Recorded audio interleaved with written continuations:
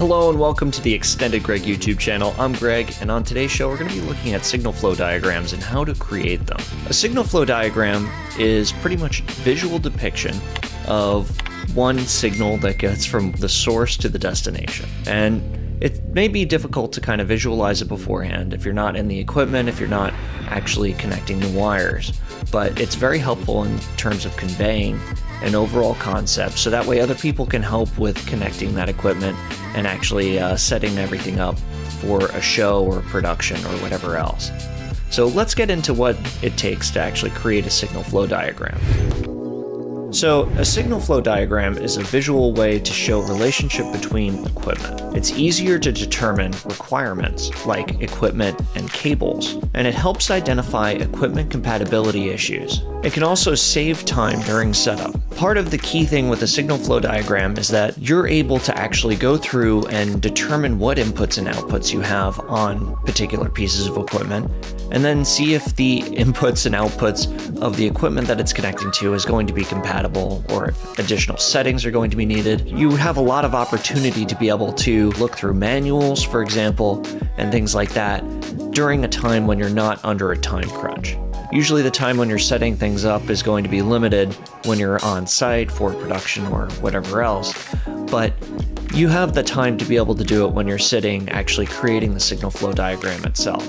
So it, it comes in handy to be able to do that thinking ahead of time opposed to doing it on site. So, how do you get started? First, you would ask yourself, what are you doing? Like, what's the overall objective of the actual build? Like, why do you need this? You know, and it's not like an existential question, it's more of just a practical question. What do you need to do? You know, what are they expecting? You know, are you going to do video recording of, for example, a concert or a play? You know, what do you need to end with when you're finished with a production? You know, do you need it to be a recording? Are you going to live stream it? You know, so it's really important to determine what you're doing, and that way you know kind of what your design objective is, and that helps the puzzle pieces kind of fit into place. And then the next thing is what equipment do you need to achieve that objective? I find it best to start with the endpoints, right? So what's coming in, you know, how are you getting your signal? And in this case, you know, like let's say it's a camera, you know, and a microphone and things like that. So those would be the start, you know, the sources of your signal. And then where is it going? Well, let's say it's going to a recorder. So that would be your endpoint. And at that point, it would become a file and you'd be able to use it later. So you'd be able to walk away with something after all of your hard work. Definitely start with the endpoints and the middle parts we'll you know we'll worry about that later. When we're creating the lines and relationships between the equipment it'll actually become self-evident. So sometimes people try and look at the overall picture you know try and visualize everything all at the same time. And it just gets really complicated to try and fathom exactly what each piece of equipment is doing um, when you think about it all at once. It's it's best to kind of dive in and look at the smaller portions of the bigger picture and focus on that and work your way through it, but then have an overall concept of what the relationship is of that equipment in the bigger picture overall. This is really creating that bigger picture, you know. that will help us uh, be able to determine exactly, you know, if there's a problem where it goes wrong. So we definitely want to work from the source to the destination and we're going to make the connections from to get the signal from one end to the other. All right, and that's what we're going to take a look at right now. So let's start with our example. Okay, so let's say our intention is to record a play. To do that, we're going to need cameras. We're going to need microphones. Right? And we're going to need a recorder. So there may be some other equipment in the middle, but let's go through it step by step and kind of define what we need as we see the need for it. And this will also help us with minimizing the amount of equipment that we're bringing. We don't want to bring the whole world. It's just going to take forever to set up. You know, we may have a lot of equipment, but that doesn't mean we have to use it all. We want to apply it strategically and tactically to be able to give us the most efficient setup while also accomplishing our core objective, which in this case is to record the play. So let's start with a simple example, okay? So we'll say we have a single camera, a single microphone, and a single recorder. And let's just kind of define what that is. Okay? So here we have our camera, here we have our microphone, and here we have our recorder. So the simple relationship between this equipment, okay?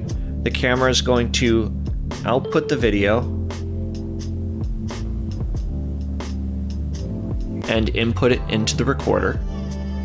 Okay, and the microphone is going to output its audio and it's also going to go into the recorder. And of course, you know, we could do this by having, you know, a camera that can do all of this in one shot, but for the purposes of this, we're just trying to dip our toe into what the signal flow diagram is. So, may not be as practical or efficient as it could be, but I think for the purposes of showing these relationships, it's perfectly fine. So, let's label what the actual connections are, right? So we have our video out, our microphone, microphone out, our recorder, video in, and audio in. Generally, when you're building a signal flow diagram like this, you'd actually want to match the labels as it's printed on the equipment. It just makes it easier to be able to correlate it when you get into the physical world, uh, you know, when you're thinking about it in the theoretical world. You're already thinking about what connections are there, you know, what connections you're going to be plugging into. So when you actually see it, uh, you can just jump right into it. You know, it's not something where you have to you have to translate it on the fly. So what is the actual connection between the camera and the recorder, right? So in this case, uh, there's a number of options.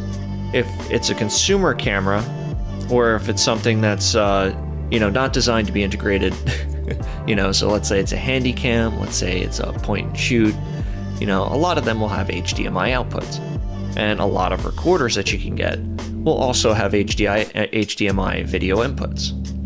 So let's say we want this to be HDMI right? And if we were unsure if the device supports it, we can actually look up the device that we have, look up the manual, and be able to make that determination of what video formats it supports.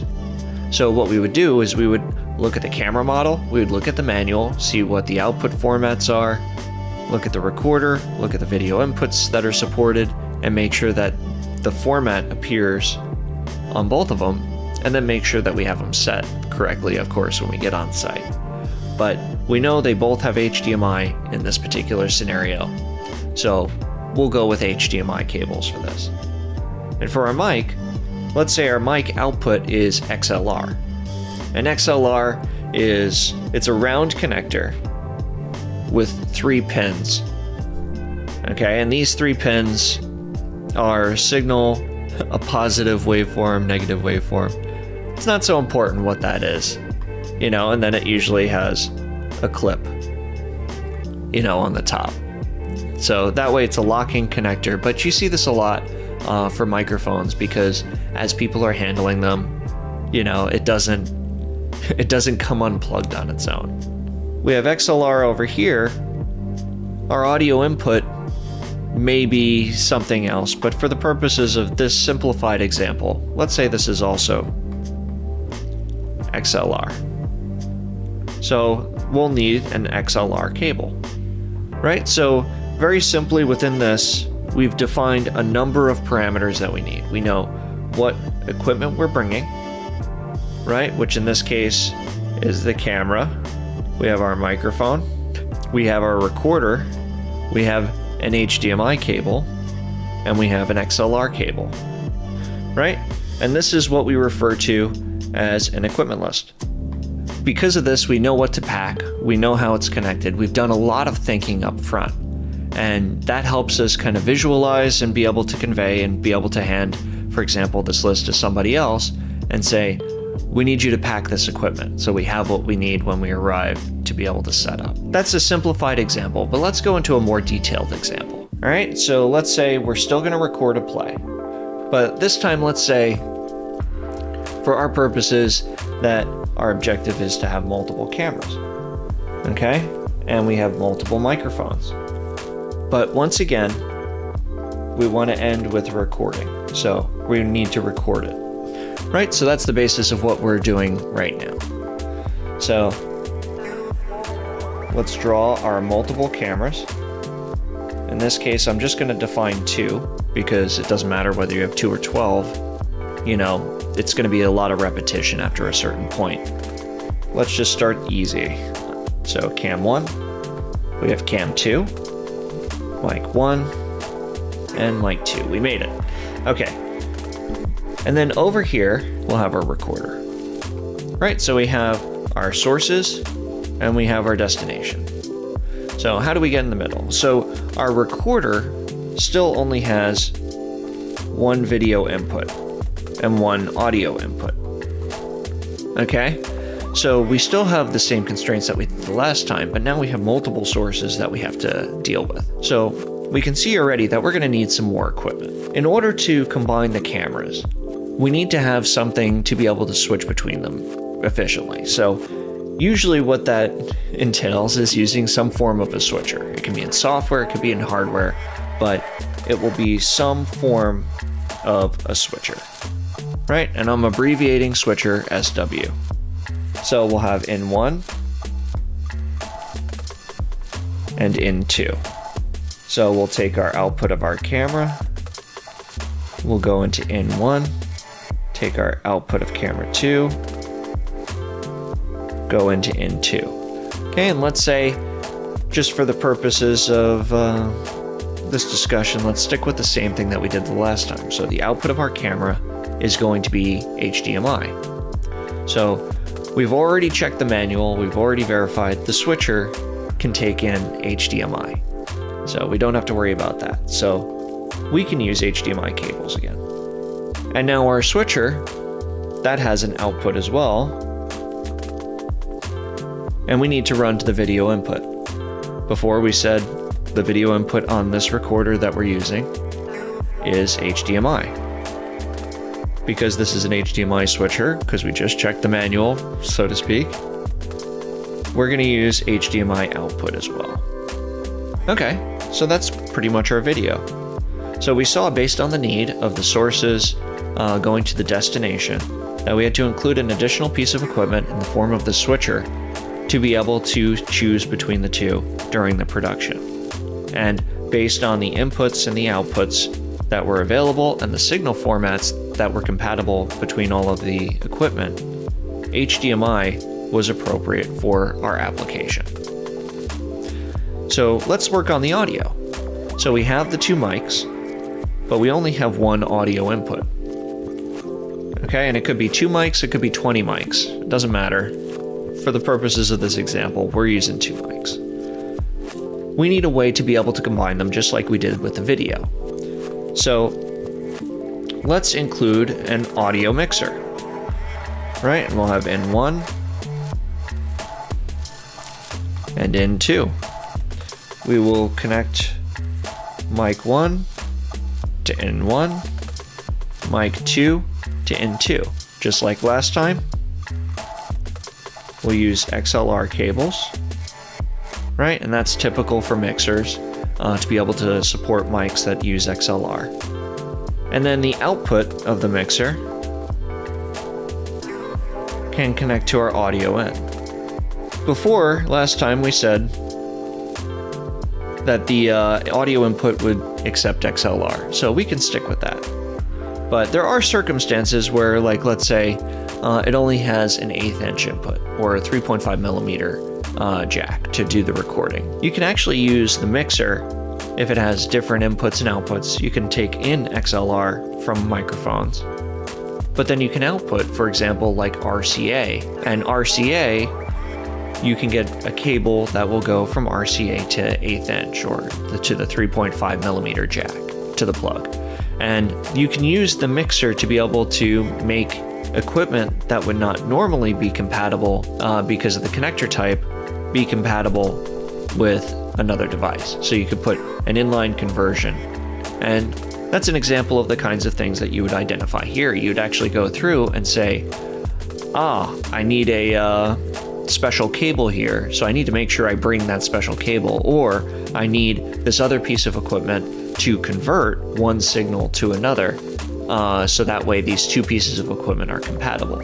This is what the signal flow diagram helps with is being able to do those identifications up front so you're not having to run and grab something from somewhere else because you didn't bring it or having to order something, you know, or having to wait for it otherwise. We see we have, we'll just review this once more. So we have our two cameras, we have our HDMI connections to our switcher, which is able to choose between the two cameras, which then outputs to HDMI to the recorder.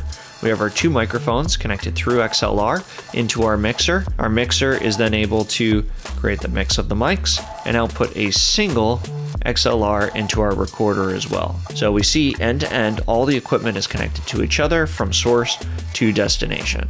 And because we've defined everything here, we know what our parts list is, so our equipment list. Right, so we have 2x cameras, 2x mics, 1x switcher, 1x mixer, 1x recorder. Then we have three HDMI cables, right? We have three XLR cables, right? And that's everything that we need to bring with us in order to be able to perform this production. So we know what we have, we know where we're going to set it up, we know, or we know what we're setting up, I should say. And then from there, we can hand this to on a piece of paper, you know, print it out, take a picture of it, print it out, copy it, whatever you need to do. And then you can hand it to somebody else and they'll also know, you know, what they need to connect. So they can work on camera two while you're working on camera one. Or you can work on setting up the recorder, the switcher, and the mixer while they work on both cameras and the microphones. So it definitely helps in terms of uh, just trying to distribute the tasks where you know you're thought you've thought about everything ahead of time so it's your design it's you know going to accomplish the objectives that were laid out initially but you don't have to do it alone. You, you, you have some help. I hope you enjoyed the video today. Make sure to hit that like and subscribe button. And, um, you know, be sure to hit that notification bell as well. That way you'll know the next time that we're getting extended. So until next time, take care.